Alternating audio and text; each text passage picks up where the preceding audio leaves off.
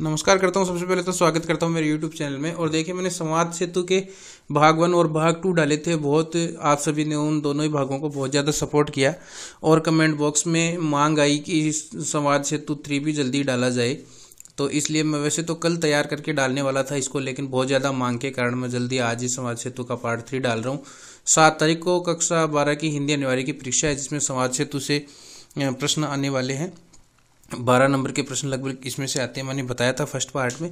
तो ये पूरे नंबर कवर हो जाएँ, ये मैं इस तरह का प्रयास करूँगा इन तीनों भागों में। तो आज तीसरा और लास्ट पार्ट है। तो आइए बिना देरी के इसको शुरू करते हैं और चलिए देखते हैं। मैं फोल्डर खोल लेता हूँ, जिसमें मैंने संवाद सेतु के नोट्स बनाए हैं और उसको समझते हैं। देखिए, शुरुआत करते हैं। यहाँ से पहला प्रश्न, आज समाज सेतु भाग तीन, देखिए, मैंने लिख दिया है। और समाज सेतु भाग तीन को मैं थोड़ा सा जूम करके सेट कर रहा हूँ। पहला प्रश्न है इंटरनेट पत्रकारिता पर संक्षिप्त टिप्पणी कीजिए। इंटरनेट पत्रकारिता ये बहुत ही इंपॉर्टेंट प्रश्न है, क्योंकि इंटरनेट पत्रकारिता फ़िलहाल ज़्यादा ही कुछ चल रही है इंटरनेट पर। ब्लॉगिंग ब्लॉगिंग ब्लॉगिंग करना जिसको आप सिंपल भाषा में कह सकते हो। इंटरनेट पत्रकारिता में देखिए क्या होता है, इसको पढ़े बिना मैं डायरेक्ट ही आपको बताता हूँ इंटरनेट के ऊपर खबरों का जो आदान प्रदान होता है, वो इंटरनेट पत्रकारिता कहते हैं। इंटरनेट पत्रकारिता को आप वेब पत्रकारिता भी कहते हैं। वेब पत्रकारिता इसलिए कह सकते हैं क्योंकि वेबसाइट चलती है, इसलिए ऑनलाइन पत्रकारिता भी इसको कह सकते हैं साइबर पत्रकारिता भी इसको कह सकते हैं। ये इसके अन्य नाम हो जाएँगे, इंटरनेट पत्रकारिता के ही। और देखिए, बात करें इंटरनेट पत्रकारिता की शुरुआत की तो इस उन्नीस सौ तिरानवे में शुरुआत हुई थी इंटरनेट पत्रकारिता की। अभी मैं इसको पढ़ता हूँ। देखिए, इंटरनेट पर खबरों का आदान प्रदान इंटरनेट पत्रकारिता कहलाता है। इसे ऑनलाइन पत्रकारिता, ऑनलाइन क्योंकि आजकल देखिए प्रत्येक चीज़ जो नेट पर चलती है, उसको ऑनलाइन कहा जाता है। साइबर पत्रकारिता या वेब पत्रकारिता वेब पत्रकारिता का मतलब क्योंकि ये पत्रकारिता वेबसाइट्स पे होती है, इसलिए इसको कहते हैं। दूसरा, इंटरनेट पत्रकारिता का पॉइंट हो जाएगा। इंटरनेट पत्रकारिता का प्रथम चरण उन्नीस सौ तिरानवे में, जबकि दूसरा चरण 2003 में प्रारंभ हुआ। तो आपको याद रखना है कि इंटरनेट पत्रकारिता की शुरुआत भारत में, ये सॉरी मैं यहाँ लिखना भूल गया, आप ध्यान रखना, इंटरनेट पत्रकारिता का भारत में प्रथम चरण उन्नीस सौ तिरानवे में हुआ जबकि भारत में इसके दूसरे चरण की शुरुआत 2003 में हुई और दूसरा चरण इसका प्रभावी चरण माना जाता है, क्योंकि उसी चरण में ये ज़्यादा विकसित हुई। इसलिए मैंने दूसरे चरण के ब्रैकेट में प्रभावी चरण लिखा है और भारत की पहली इंटरनेट पत्रकारिता की जो वेबसाइट है, उसका नाम है रेडिफ डॉट कॉम ये भी इंपॉर्टेंट प्रश्न है डायरेक्ट भी पूछ सकते हैं कि इंटरनेट पत्रकारिता में भारत की पहली साइट है रेडिफ डॉट कॉम जबकि ये तो पहली साइट है। पहली साइट थी इसलिए क्या है कि विशुद्ध रूप से इसमें पत्रकारिता नहीं हो पाई। अन्य चीज़ें इसमें ज़्यादा थी। जबकि विशुद्ध पत्रकारिता शुरू करने का श्रेय वो तहलका डॉट कॉम साइट को जा, जाता है। यहाँ एक बात आप ज़रूर रखें कि इंटरनेट पत्रकारिता का प्रथम चरण उन्नीस में ये भारत की बात है। भारत में इंटरनेट पत्रकारिता का प्रथम चरण है वो उन्नीस सौ तिरानवे में शुरू हुआ था। तो आशा करता हूँ कि इंटरनेट पत्रकारिता आपको समझ में आ गई होगी। अब अगला चरण देखिए फीचर लेखन की मुख्य बातों पर प्रकाश डालिए। फीचर लेखन हमने पढ़ा था। तो फीचर लेखन की मुख्य बातें, देखिए, पाँच बिंदु आपको याद रखने हैं। तथ्यों का संग्रह, उद्देश्य, प्रस्तुतिकरण, शीर्षक तथा आमुख और साज सज्जा। ये पाँच फीचर लेखन की पाँच बातें आप ध्यान रखेंगे। तथ्यों का संग्रह, उद्देश्य, प्रस्तुतिकरण, शीर्षक तथा आमुख और साज सज्जा इसके बारे में। तो देखिए, तथ्यों के संग्रह में क्या करना है कि जिस भी विषय पर हमें फीचर लिखना है, उससे संबंधित तथ्य हमें जुटाने पड़ेंगे। तो देखिए, जिस विषय पर फीचर लिखा जाना है, उससे जुड़े तथ्यों को एकत्रित करना। पाँच है फीचर लेखन की पाँच मुख्य बातें। दूसरे नंबर पर उद्देश्य। देखिए, कोई भी फीचर की बात नहीं है, कोई भी हम विदा लिखते हैं तो उसका उद्देश्य ज़रूर स्पष्ट होना चाहिए। तो उसी तरह से फीचर का उद्देश्य तय किए बिना फीचर लेखन स्पष्ट नहीं होता। प्रस्तुतिकरण प्रस्तुतिकरण देखिए फीचर का कैसा होना चाहिए? रोचक होना चाहिए, मनोरंजक होना चाहिए सरज सहल, सहज और सरल भाषा में होना चाहिए। ये सभी में लागू होती है बात। तो फीचर को मनोरंजक ढंग से सरल व सहज भाषा में प्रस्तुत किया जाना चाहिए। उसके बाद शीर्षक और आमुख। शीर्षक और आमुख इतना स्पष्ट होना चाहिए कि उसको देखते ही पता चल जाए कि इस फीचर में क्या कहना चाह रहा है। इस फीचर में ये क्या बात बताना चाह रहा है तो उससे हमें स्पष्ट हो जाना चाहिए। तो शीर्षक तथा अमुक, इस प्रकार लिखा जाना चाहिए कि वह पाठक को आकृष्ट करे। मतलब शीर्षक अच्छा होना चाहिए। और साज सज्जा, देखिए, सब कुछ तैयार कर दिया, लेकिन किसी चीज़ की साज सज्जा नहीं की तो वो मान्य नहीं है। तो चित्रों रेखा चित्रों और ग्राफिक्स के द्वारा फीचर की साज सज्जा करनी चाहिए। साइड में चित्र भी बना देने चाहिए। मतलब जो बात आप बता रहे हो, चित्रों के माध्यम से उसको ऐसा सजा देना चाहिए कि वो रोचक हो जाए। तो ये फीचर के पाँच है। पाँचों का एक बार दोबारा से याद रखें। सबसे पहले तथ्यों का संग्रह, उद्देश्य, प्रस्तुतिकरण, शीर्षक तथा आमुख और साज सज्जा ये फीचर के पाँच तत्व हैं। अब अगला देखिए। ये इस तरह के एक प्रश्न ज़रूर आता है। यानी जो अपने डायरेक्ट ज्ञान के ऊपर आधारित नहीं हो, उस तरह का प्रश्न है। साक्षात्कार का प्रमुख आधार संवाद है, कथन को स्पष्ट कीजिए। देखिए, संवाद बिना साक्षात्कार का कोई महत्व नहीं संवाद का मतलब बातचीत, एक दूसरे की बातचीत। तो संवाद जब तक नहीं होगा, तब तक साक्षात्कार का कोई महत्व नहीं है। तो इस कथन को हम स्पष्ट इस तरह से कर सकते हैं कि संवाद है, वो इंटरव्यू लेने वाले और देने वाले दोनों के बीच में जो बहस होती है, अगर संवाद दोनों में नहीं हो रहा तो वो बहस और बातचीत का कोई मतलब नहीं निकलेगा, उसकी पुष्टता नहीं होगी। तो संवाद में देखिए, साक्षात्कार में संवाद का क्या क्या महत्व है? संवाद ही इंटरव्यू लेने व देने वालों की बातचीत व बहस को पुष्ट करता है। उसके बाद देखिए, संवाद, अब देखिए क्या होता है? संवाद के अनुसार ही साक्षात्कार का प्रकार बदल जाता है। जैसे मान लीजिए, साक्षात्कार देने वाला अपनी यादों को बयान करने लग गया साक्षात्कार में। इसका मतलब वो संस्मरणात्मक साक्षात्कार हो गया। जब वो कोई पात्र के बारे में बता रहा है तो पात्र की वेशभूषा पर्सनैलिटी के बारे में बताने लग गया, व्यक्तित्व के बारे में बताने लग गया तो वो रेखा चित्रात्मक साक्षात्कार हो जाता है। अगर वो पात्र का परिचय देने लगता है और पात्र के वातावरण के बारे में, पात्र के विचारों के बारे में बताने लग जाए, अपने विचारों के बारे में बताने लग जाए तो वो निबंधात्मक साक्षात्कार हो जाता है, बड़ा साक्षात्कार। तो इसके बाद संवाद के आधार पर साक्षात्कार का प्रकार ही चेंज हो जाता है। तो देखिए, संवाद ही इंटरव्यू लेने व देने वाले की बातचीत व बहस को पुष्ट करता है। एक तो यह महत्व हो गया, दूसरा संवाद के अनुसार साक्षात्कार का प्रकार बदल जाता है। जब सामने वाला अपनी यादें बयान करने लग जाए तो वह संस्मरणात्मक साक्षात्कार बन जाएगा।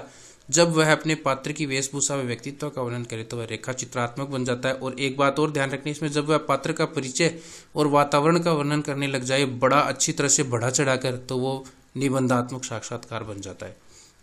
अब देखिए, एक ये प्रश्न आता है। ये प्रश्न मैंने इसलिए लिया क्योंकि विभिन्न प्रकार की पत्रकारिताएँ दी हुई है और किसी भी एक पत्रकारिता के बारे में पूछ लिया जाता है और हमें वो प्रश्न आते हुए भी गलत हो जाता है। तो मैं इस प्रश्न को देने का मेरा उद्देश्य ये है कि सभी पत्रकारिता उनके बारे में ऑलरेडी पता है। तो अगर पत्रकारिता से संबंधित कोई भी प्रश्न आ जाए तो वो आपको ज़रूर करना है। तो विभिन्न प्रकार की पत्रकारिता पर टिप्पणी कीजिए। देखिए, खेल पत्रकारिता, फ़िल्म पत्रकारिता, वाणिज्यिक पत्रकारिता, अपराध समाचारों की पत्रकारिता और अदालती पत्रकारिता। एक और होती है विज्ञान पत्रकारिता, जिसके बारे में हम पिछले वीडियो में चर्चा कर सकते हैं। तो वीडियो आपको देखना हो तो आई बटन पर देख लेना। खेल पत्रकारिता। अब देखो, मैं इसको पढ़ूँगा बाद में। पहले आप ही सोचिए मन में, खेल पत्रकारिता क्या हो सकती है? सीधी सी बात है, खेलों के बारे में जानकारी देने से संबंधित पत्रकारिता, खेल पत्रकारिता, फ़िल्म पत्रकारिता, फ़िल्म और उसके कलाकारों से संबंधित पत्रकारिता, वाणिज्यिक व्यापार की खबरों से संबंधित, वाणिज्य का मतलब होता है व्यापार, अपराध समाचार, अपराध देखो क्या होता है, कोई व्यक्ति अगर कानून को तोड़ता है और कानून के विरुद्ध कार्य करता है तो वो अपराध होते हैं तो ऐसे समाचार अपराध पत्रकारिता में आ जाएँगे। अदालती पत्रकारिता का मतलब होता है, अदालत में जो निर्णय दिए जाते हैं, उससे संबंधित न्यूज़ है वो अदालती पत्रकारिता आएगी। तो अब मैं इनको पढ़ देता हूँ, देखिए। सबसे पहले खेल पत्रकारिता, खेलों के बारे में जानकारी देने के संबंध में पत्रकारिता, खेल पत्रकारिता कहलाती है। बिल्कुल सिंपल, सीधी सी बात। खेल, किसी भी चीज़ में देख लो, खेलों में नहीं, कई बार ऐसे पूछ सकता है आपको कि खेल पत्रकारिता में एक खेल के पत्रकार में क्या गुण होने चाहिए? तो उसको खेलों की समझ होनी चाहिए। खेलों की समझ होनी चाहिए, उसकी गूढ़ दृष्टि होनी चाहिए। ये सभी में आप ये लिख सकते हो। जैसे सभी में आपको पूछा जाए ना, जैसे इसमें पूछ ले कि फ़िल्म पत्रकार फ़िल्म पत्रकार के क्या गुण होने चाहिए? तो एक पहला तो ये हो जाए कि फ़िल्मों की उसको समझ होनी चाहिए। वाणिज्यिक पत्रकारिता में व्यापार और वाणिज्य की समझ होनी चाहिए। और गूढ़ दृष्टि, सभी में गूढ़ दृष्टि की ज़रूरत है। ये दो बातें आप सभी प्रकार की पत्रकारिता में ध्यान रखो कि जो, जिससे संबंधित पत्रकारिता एक तो उसकी समझ होनी चाहिए और एक गूढ़ दृष्टि होनी चाहिए। तो खेल पत्रकारिता हो गई खेलों के बारे में जानकारी देने से संबंधित पत्रकारिता, खेल पत्रकारिता कराती है। फ़िल्म पत्रकारिता का मतलब फ़िल्मों तथा इसके कलाकारों से संबंधित पत्रकारिता, फ़िल्म पत्रकारिता कहलाती है। वाणिज्यिक पत्रकारिता, वाणिज्य का मतलब होता है व्यापार कॉमर्स तो व्यापार से जुड़ी खबरें वाणिज्यिक पत्रकारिता कहलाती है। अपराध समाचारों से संबंधित पत्रकारिता। अब अपराध क्या होता है देखो कानून का उल्लंघन करना या उसके विरुद्ध कार्य करना अपराध की श्रेणी में आता है और इससे संबंधित पत्रकारिता अपराध पत्रकारिता कहलाती है। फिर अदालती पत्रकारिता, अदालत में दिए जाने वाले फैसले से संबंधित पत्रकारिता, अदालती पत्रकारिता कहलाती है। तो ये सारी पत्रकारिता बता दी गई। एक विज्ञान पत्रकारिता बच गई है, लेकिन वो पिछले वीडियो में ही आ चुकी है। अब देखिए, ये प्रश्न, एक इंपॉर्टेंट प्रश्न है, आ सकता है, आप ध्यान रखें। पत्रकारिता में संदर्भ सामग्री की क्या उपयोगिता होती है? संदर्भ सामग्री देखो, क्या होती है? किसी व्यक्ति या किसी विषय से संबंधित सामग्री जो विभिन्न प्रकार के शोध के द्वारा जो सामग्री इकट्ठा की गई है, जैसे किसी महापुरुष के जीवन पर आधारित उसकी स्मृतियाँ हैं, उसके साक्षात्कार हैं तो वो सभी संदर्भ सामग्रियाँ कहलाती है, जैसे मौसम विभाग का रिकॉर्ड है, ये सब संदर्भ सामग्रियाँ कहलाती है। यानी किसी चीज़ का आपको अध्ययन करना है तो उससे संबंधित सामग्री, उसके बारे में जानकारी देने से संबंधित सामग्री, संदर्भ सामग्री कहलाती है। उसकी क्या उपयोगिता होती है? देखिए सीधी सी बात है, जैसे मान लीजिए आप कोई कथा या विषय लिख रहे हो, और अगर उसमें संदर्भ सामग्री का प्रयोग करोगे मतलब उससे संबंधित जानकारी लेके फिर वो कहानी लिखोगे तो रुचिकर हो जाएगी।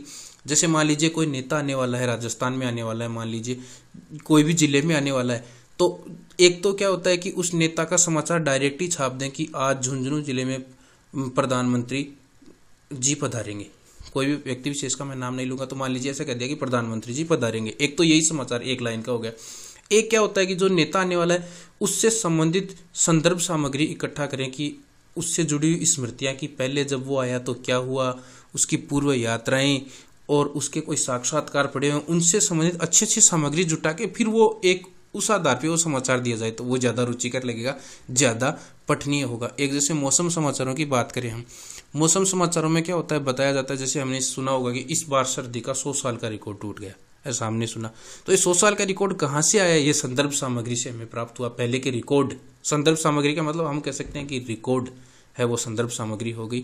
तो उससे पता चल गया तो जैसे मौसम समाचार एक तो डायरेक्ट ही कहते हैं कि इस बार पारा 25 डिग्री सेंटीग्रेड पड़ा। और एक ऐसे कहते हैं कि इस बार पारा 25 डिग्री सेंटीग्रेड रहा न्यूनतम, और 100 साल का रिकॉर्ड टूट गया। ये 100 साल के रिकॉर्ड नहीं उन्नीस सौ छियानवे में चौबीस डिग्री रहा सत्तानवे में तेईस डिग्री रहा। ये करके रिकॉर्ड जब दिया जाए तो तो वो पत्रकारिता, वो वो समाचार थोड़ा सा रुचिकर लगता है। तो संदर्भ सामग्री की उपयोगिता देखिए, किसी कथा अथवा विषय पर लेखन में संदर्भ सामग्री का प्रयोग करने पर समाचार या कहानी रुचिकर हो जाती है।